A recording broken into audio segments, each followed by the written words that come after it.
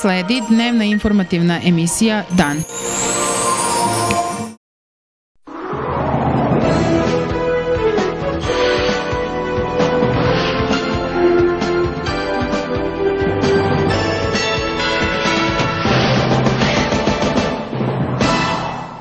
Predsjednik Srbije Tomislav Nikolić izjavio je da je odluka o smanjenju plate i penzija u stvari odluka da se one osiguraju, jer se moglo desiti da ih uopšte ne bude. Aleksandar Vučić ne sme da odustane, jer ne znam nikog drugog ko bi imao tu hrabrost i sve koje Nikolić. Predsjednik Nikolić je dodao da politički teret teških mera jeste teret i premijera Aleksandra Vučića i svih nas, pa i njegov. Često sam razgovarao sa Vučićem o tome šta preduzeti jer se dan D primicao, odnosno bilo je jasno da će jednom morati da se stane sa tehnologijom vladanja po sistemu zadužuj se i prodaj, kako je rađeno od 2001.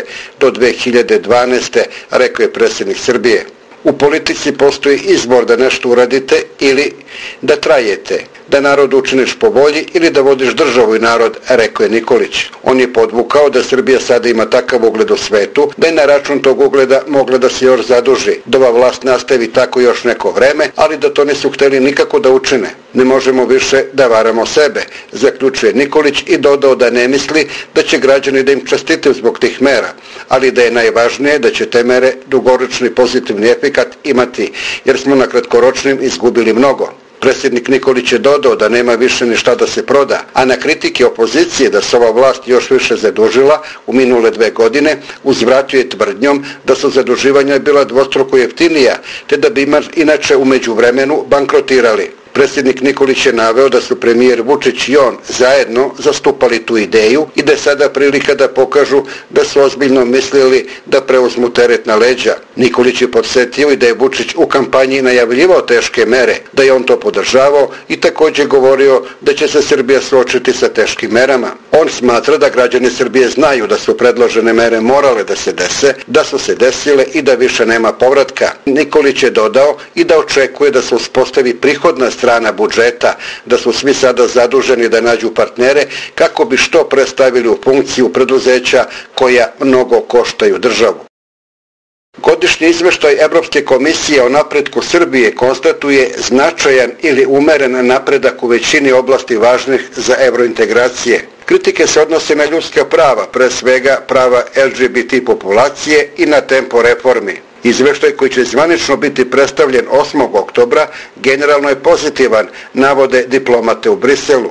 Navodi se da se Srbija pohvaljuje zbog privrženosti procesu normalizacije odnosa Beograda i Prištine, mada se konstatuje da se kasni u sprovođenju nekih delova sporazuma. Deo izveštaja koje se odnosi na prava LGBT populacije nije završen, a čeka se da se vidi da li će parada ponosa u Beogradu zakazana za 28. septembar konačno biti održana. Sa druge strane, vlasti se pohvaljuju zbog donošenja seta medijskih zakona, ali se naglašava da se te zakone sada moraju primeniti. Jedna od oblasti u kojoj se očekivao brži napredak jeste reforma pravosuđa, u koju, po mišljenju komisije, treba uložiti dodatne napore obzirom na to da je reč o ključnoj oblasti u procesu eurointegracija. Veoma pozitivno se ocenjuju mere za smanjenje budžetskog deficita, koje je prošle nedelje najavio premijer Aleksandar Vučić. Srbija ove godine završila screening za polovinu od ukupno 35 poglavlja, a očekuje se da se prva poglavlja otvore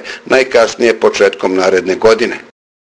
Radna grupa za izradu kodeksa ponašanja poslanika sastaće se posljednji put da definiše tekst tog skupštinskog akta, čim on bude vraćen sa čitanja iz Evropskog parlamenta, a potom će kodeks biti upućen u skupštinsku proceduru. Kodeks ponašanja poslanika predviđa formiranje etičkog saveta koji će biti zadužen za sprovođenje i primjenu kodeksa, a ukoliko se poslanici ipak ogluše od ta pravila, usledit će nejavna, zatim javna opomena kao i obaveza da se javno izmine. Predviđena je novčana kazna u visini od, od tri osnovne plate poslanika. Navodi se da poslaniku nije dozvoljeno da javnu imovinu koristi u privatne svrhe i službene prostorije za privatne poslove, službena sredstva ili imovinu parlamenta za potrebe izborne kampanje, zbopotrebljava položaj radi lične koristi ili koristi njegove političke partije.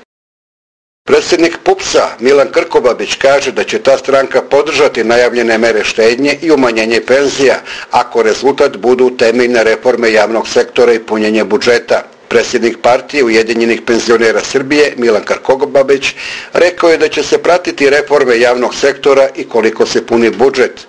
On očekuje da će najavljene mere dovesti do fiskalne konsolidacije, a da će nakon toga da budu ukinute kako bi se penzije splaćevale onako kako su zakonom koncipirane.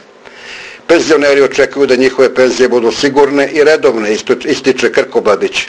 On kaže da bi prema njegovim saznanjima penzije u proračunu trebalo da budu smanjene za oko 5%, pri čemu smanjenjem nisu obuhvaćene penzije niže od 25.000 dinara. Prema njegovim rečima sve mere nisu još u potpunosti precizne, a do kraja će biti koncipirane sa rebalansom budžeta. Predsjednik Pupca umanjenje penzija prihvata kao vid solidarnosti. Ministarstvo unutrašnjih poslova Srbije nakon izbora nove vlade snažno je pokrenulo niz reformi ka suzbijanju organizovanog kriminala, krijumčarenja droge i suzbijanja korupcije, zaključene na sastanku državnog sekretara MUPA Aleksandra Nikolića sa ambasadorom Peterom Burhartom, šefom misije OEPS-a u Srbiji. Državni sekretar Ministarstva unutrašnjih poslova predstavio je rad na reformi policije posebno u kontekstu izrade novog zakona o policiji i izrade akcijnog plana za poglavlje 24 pregovora s Evropskom unijom. Burhart je izrazio spremnost za daljom partnerskom saradnjom u izradi strategije za prevenciju kriminala i suzbijanje organizovanog kriminala, saopštio je MUP. Konstatovan je veliki značaj nedavnog osnivanja Kancelarije za borbu protiv droga vlade Srbije, što će uz operativni rad policije na suzbenju trgovine narkoticima potvrditi i ojačati poziciju Srbije i policije Srbije kao lidera u regionu u ovoj oblasti, ističe se u seopštenju. Ambasador Sjedinjenih američkih država u Srbiji Michael Kirby je u razgovoru sa ministrom privrede Srbije Željkom Sertićem ponudio dalju pomoć i saradnju u sanaciji šteta od poplava i sprovođenju ekonomskih reformi. Kirby se interesovao, kako je saopšteno, o reformama u oblasti javnih preduzeća i porezke politike i naglasio da je uporedo sa unapređenjem privrednog ambijenta neophodno i sudski sistem učiniti efikasnijim. Američki ambasador dodaje da su stručnjaci Svetske banke i Američke agencije za pomoć USAID pomagale oporavak privrede Srbije i da nameravaju da tu saradnju naprede. Srpski ministar privrede istakao je da vlada Srbije čini odlučne i značajne koruke ka ozdravljenju ekonomije Srbije, što već prepoznaju investitori koji su pokazali veliko interesovanje za proces privatizacije. Sertić je naveo da su među prioritetima Ministarstva privrede razvojni projekti i uvođenje reda u javna preduzeća jer je to uslov za stvaranje bolje poslovne klime i rast bruto društvenog proizvoda.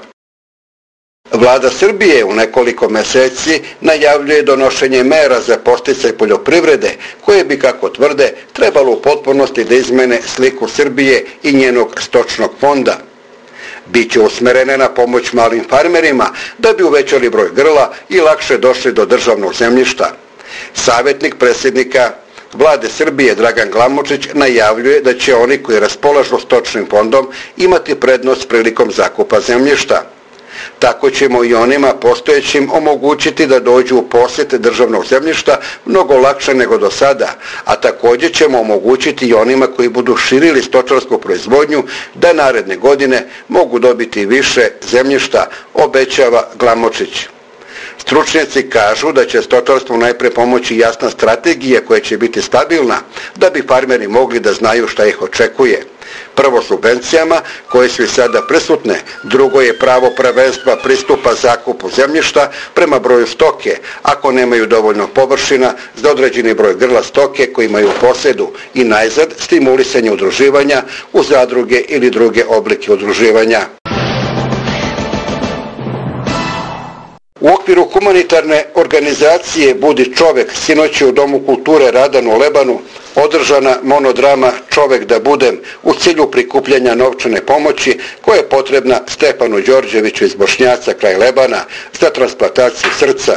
Cena karte nije bila određena, već je svako nolaz u salu ostavljao u kutiju koliko je mogao. 24-godišnji student Stefan Đorđević iz Bošnjaca kod Lebana boluje od kardiomiopatije i neophodna mu je hitna transplantacija srca. Srpska pravoslavna crkva i Lebanska humanitarna organizacija Budi čovek pokrenuli su akciju prikupljanja pomoći, ali je neophodno da se nju uključi i šira zajednica. Srce 24-godišnjeg Stefana radi sa tek 24% kapaciteta zbog dilatacione kardiomiopatije otkrivene pre tri godine. Iako se još ne zna kada će u kojoj klinici Stefan dobiti srce, izvesno je da je potrebno mnogo novca porodica ne može da obezbedi potreba novac.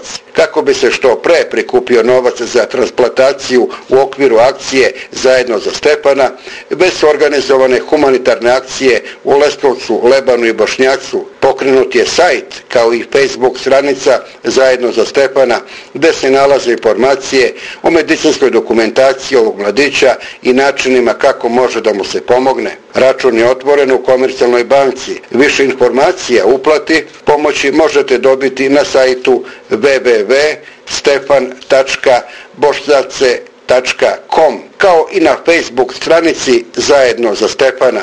Sljedeća akcija je humanitarna žurka za Stepana u klubu Jack večeras u 21 sat. Kompletna zarada od prodaje pića i prilog koji će biti sakupljen bit će uplaćen na Stepanov račun. Pomozimo Stepanu, budimo ljudi. Ovo je apel i vama, dragi slušalci i gledalci radio televizije Caričin grad. Gradonačelnik Leskovca Goran Cvetanović održao je radni sastanak sa strelcima za protivgradnu zaštitu na kome se govorilo o opremi, raketama i novčanoj nadoknadi kao i o planovima za naredni period.